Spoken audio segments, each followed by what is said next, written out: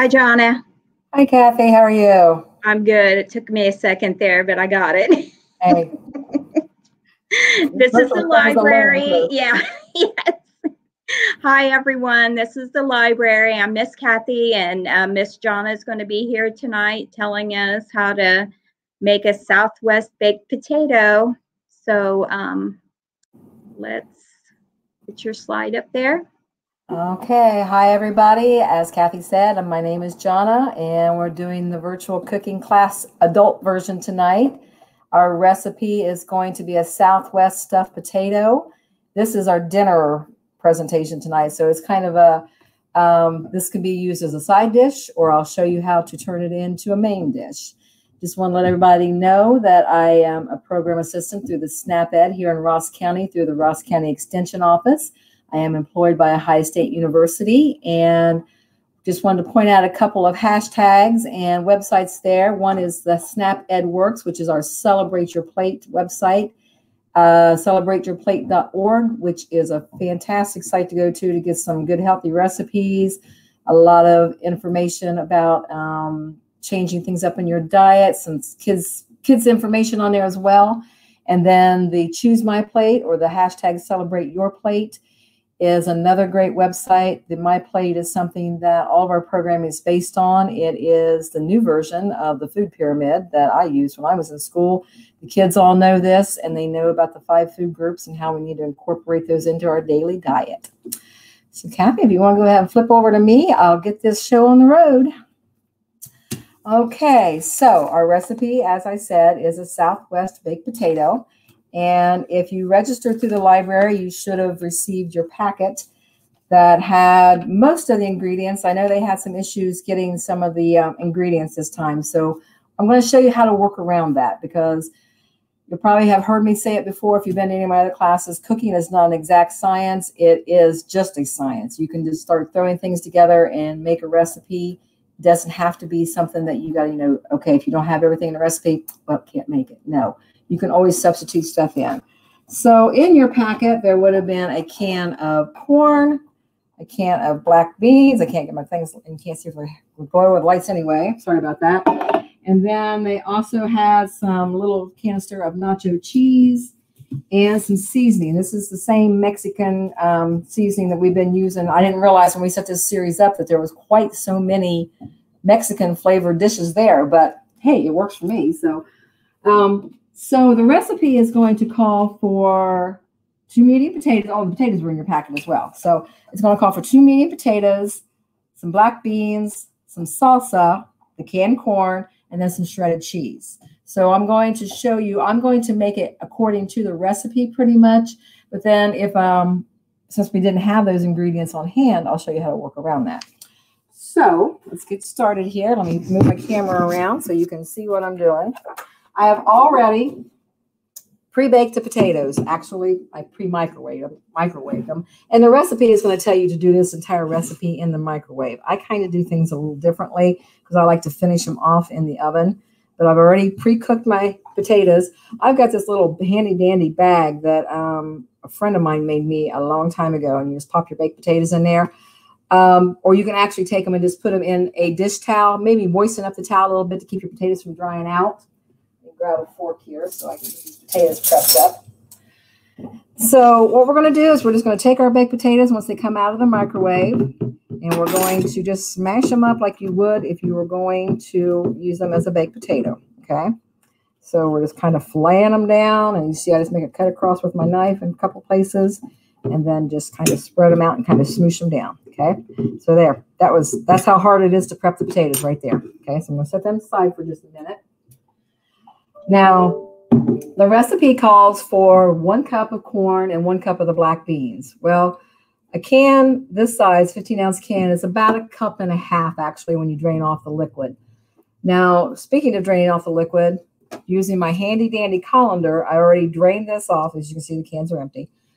And um, try to always recommend that everybody pick up the low sodium, no sodium as far as your canned goods, as far as vegetables and beans those aren't always easy to find. So the one good thing about that, one thing I can tell you, the good thing about it, is you can drain that broth that's in these cans off, and that is where the bulk of the sodium is. So if you drain that off and then rinse it under running water for a few seconds, you're going to take a lot of that salt all out of there. So you're not going to have all that salt still in there.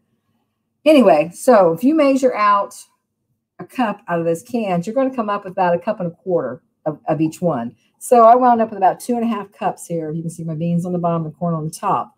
So instead of wasting that extra little bit of corn and beans, I'm going to go ahead and throw it in a recipe, okay? What I'm going to do with this is then I, then again, you're supposed to use, let me see, how much salsa is three quarters of a cup. Well, I just increased it to a cup, okay? So I'm going to dump that in there. Use my spatula. Now, okay, so salsa wasn't in your packet, or luckily I had exactly one cup of salsa in my refrigerator, or I'd have been trying to come up with a different thing. The good thing, good news about it, if you don't have any salsa in your pantry, you can always substitute. I've just got a can of diced tomatoes here. Throw in about a teaspoon of this mix, um, Mexican seasoning mix, and you've got an instant salsa there. It's going to be just the same. And then the good thing about it too, if you want just a little bit hotter, a little bit milder, you can take out a little bit of the spice mix, or you can add a little more in. So you got a little control over it that way. So that's a good thing. So I, like I said, I had the salsa, so I've got that on hand. So I'm going to mix this together. This recipe is so super simple. Now, like I said, it can be used for a side, and that's with a, a smaller potato. Um, you figure, okay, a small, actually, actually like a medium-sized potato, and you're going to put about a half a cup, three quarters of a cup of this mixture on top of it. Bring my potatoes back over here. I'm just going to take this corn and salsa and tomato mixture. I'm just going to spoon it over top of that.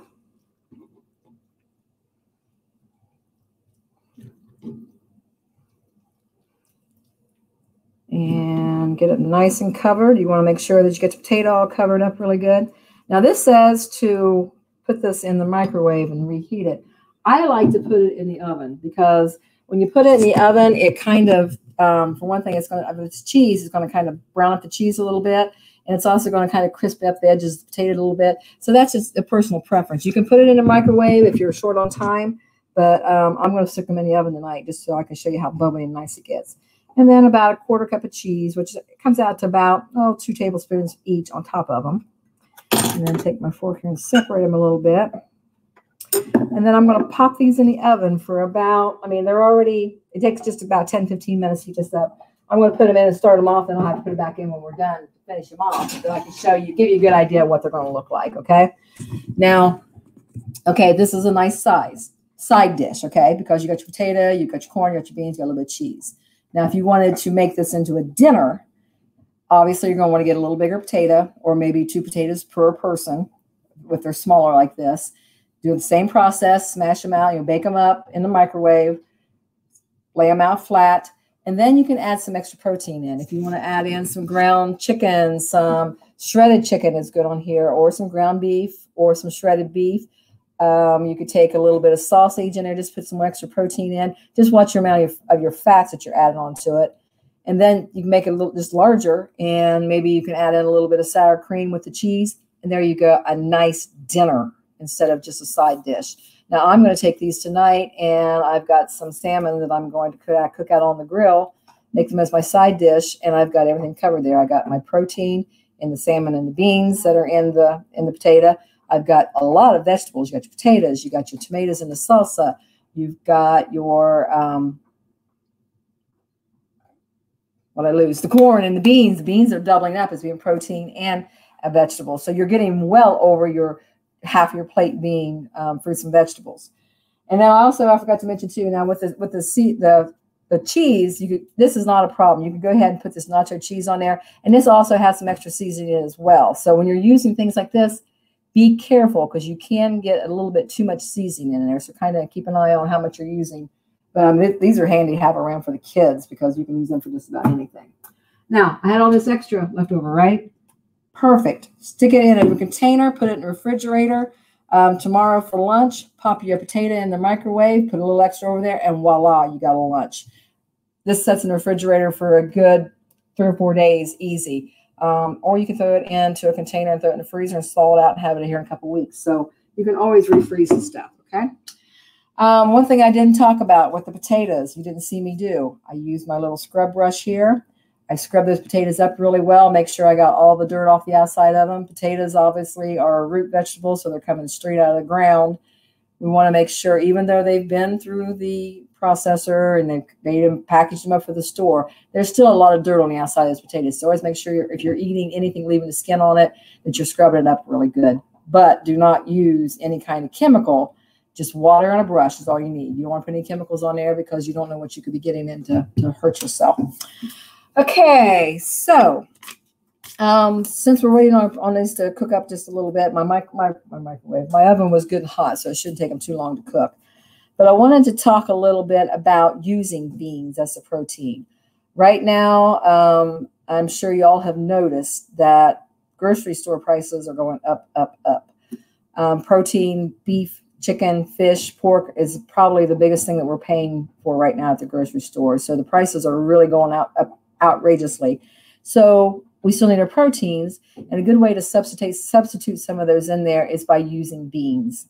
And a good way to use them is just by just like we did tonight, put them into like a casserole or a combo dish like this. Throw them in soup um, you can always puree them up or put them in a blender and make them like into like a refried bean type thing, and then put them in your soups or your stews for a thickening. It's um, going to add a little layer of flavor in there. Plus, it's going to add a really nice natural thickener. You don't have to put the extra um, flour or, or the like the cornstarch where you're getting the extra sugar in there. You don't have to add that. You're just getting good pure protein. Um, you can mash them up too and make them into dips. These are great. You can take a can of black beans or pinto beans, any kind of beans, put them in a blender, mash them up throw a little bit of um, maybe some garlic in there and make like a refried bean with some dips. Really great. Um, you can even eat them cold if you like to, like a hummus, anytime you want to do that. And then I also wanted to kind of talk about, you know, what the prices of groceries going on. And I don't know if y'all noticed, but it's gotten a lot cooler outside over the last few days. And we, you know what that means. The leaves are falling, so winter's coming. And with winter coming, it adds on the extra bills. Everybody's going to have to crank up that furnace. And, um, you know, just Christmas is coming. We got to worry about getting Christmas budget into our budget and that kind of stuff. So, some ways we can kind of maybe stock up a little bit.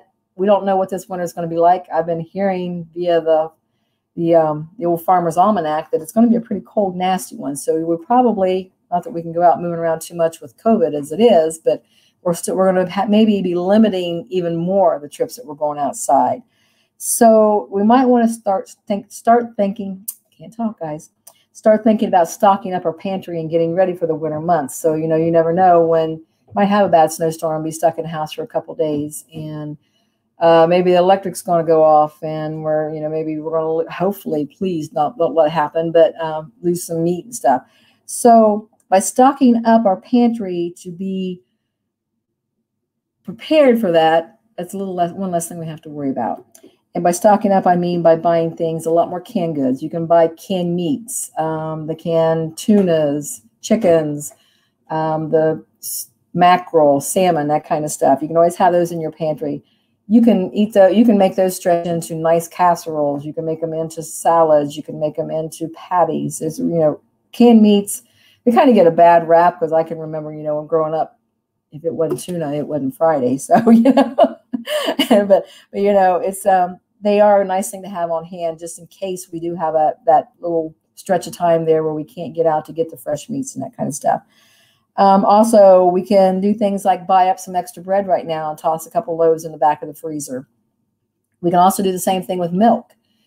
Um, when you buy a half gallon of milk, and when you bring it home, take it and open it up and pour just a little bit off you can toss that in the freezer, put the lid back on it tight, put it in the freezer, take a little bit out because it's going to expand. Any liquid will expand when you freeze it. But you can throw a couple of those in the freezer. So if you, you know, you, you can't get to the store for a few days and you're out of milk, you can pull that out, shake it up real good, and it's just like fresh milk.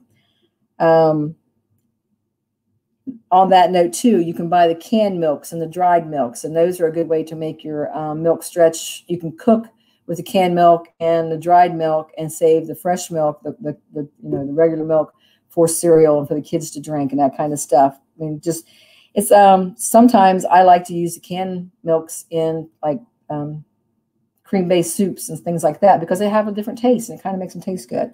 So you can stock up on things like that. You can um, stock up on things like rice and pasta. That's a good way to make your protein stretch. So you can take a pound of hamburger and make it into a big pot of spaghetti and feed your family of four or five for a couple days.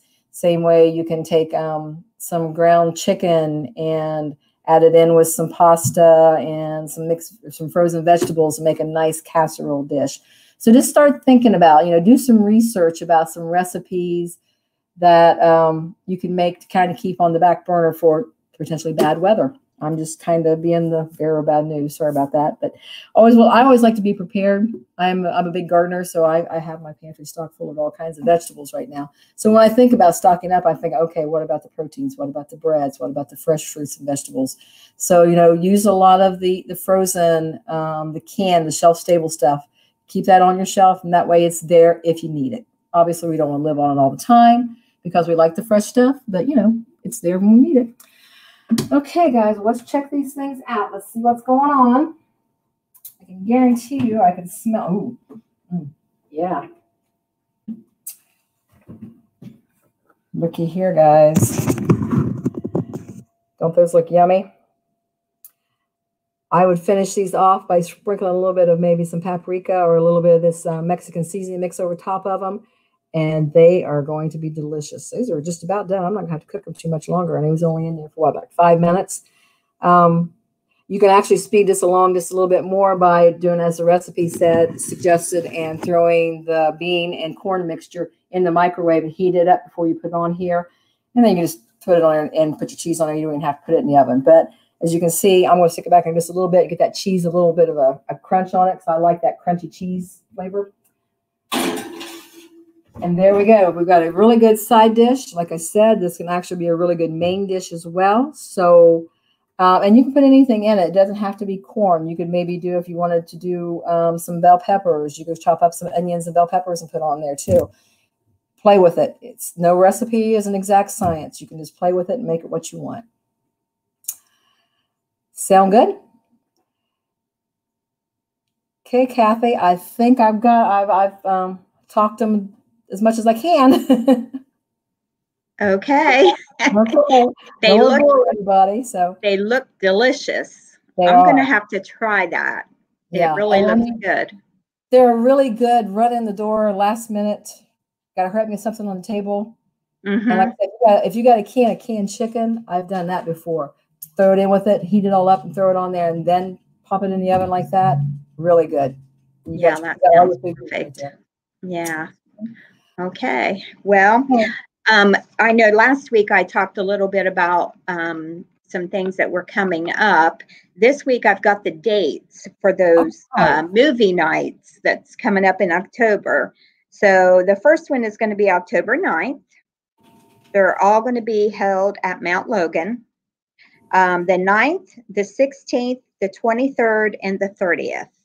So those are the dates. We would love for people to come. We got a new screen. I saw your new screen. That looks nice. Yeah. it, it is. So um, we hope everybody, if you can come, please do. It'll be a lot of fun. So That's a I good do. weekly outing. That, that would be great. I mean, Yeah. and gives, the, gives the kids, they don't know what a whole drive-in experience is. So that, that's exactly. Yeah. I used to love the drive-in movies. me too. My mom would load us up in the car with a bag Yep. of popcorn and a pitcher of Kool-Aid, and we'd go to the movies. That's what we did too. So Uh, well, I will be back with the kids next week, and we will be doing salad in a bag and chicken cranberry quesadillas. A couple of really Oh. good recipes. I mean, you adults might want to might want to tune in for these quesadillas. They're really good. So sound good. yeah. Yeah. Okay. Thanks All for right. hanging with me. Well, thank you. It's always a, I learn something new every time I listen. So, Me too. You never know what we'll Okay. all right. All right, Well, thanks. everybody. Bye-bye. Bye.